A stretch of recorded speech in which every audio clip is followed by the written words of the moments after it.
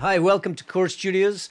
We're currently working on a new drum sample library, which will feature drum sounds from the 1980s era.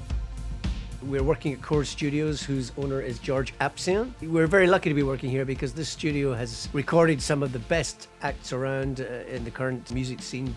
From Florence and the Machine to Ellie Goulding to such legendary artists as Ronnie Wood and, uh, of course, the sublime Richard Ashcroft. It is my great pleasure to introduce you to Geoff Dugmore, an incredible drummer with the most unbelievable career.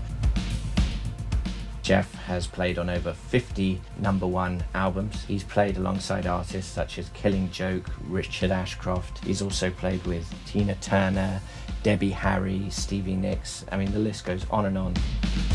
Because George and I have such a great working relationship together, it was uh, very much a, a, a, a no-brainer for the two of us. We were like, right, okay, we got to do this. This is going to be sensational.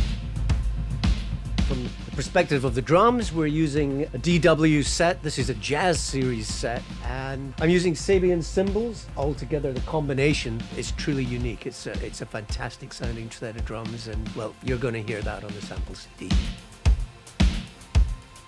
We're recording to Pro Tools today, and the console we're using is an API 1608.